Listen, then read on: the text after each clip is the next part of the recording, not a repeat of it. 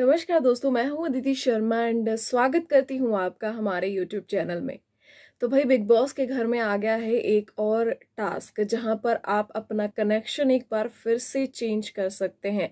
Big boss ने मौका दिया है घर के सदस्यों को अपना कनेक्शन चेंज करने का और कहा है कि आप लोग एक बार फिर से सोच लीजिए कि क्या अपने कनेक्शन के साथ आप खुश हैं, नहीं तो आप अपना कनेक्शन चेंज कर सकते हैं। और इस बार कहानी में एक ट्विस्ट है ये सारा जो टास्क करवाया जा रहा है, ये दिव्या के लिए है।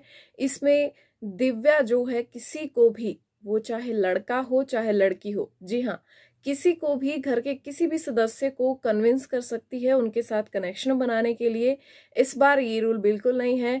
कि लड़के को ही कनेक्शन बनाना है दिव्या के साथ। कोई भी लड़की बजर प्रेस कर सकती है।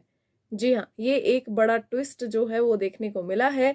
तो साथ ही में जो खबरें बाहर आ रही हैं, निया शर्मा के आने की बात जो उठ रही है वाइल्ड कार्ड एंट्री में तो मुझे लगता है कि फ़िलहाल तो अभी कोई ऐसा दिखाई नहीं दे रहा है कि दिव्या के लिए बजर प्रेस करेगा।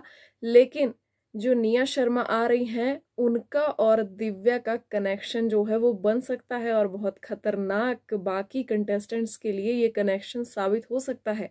तो देखते हैं आगे की गेम कितनी इंटरेस्टिंग होने वाली है। लेटेस्ट अपडेट्स के लिए बने रहिए हमारे साथ। मिलते हैं नेक्स्ट वीडियो में।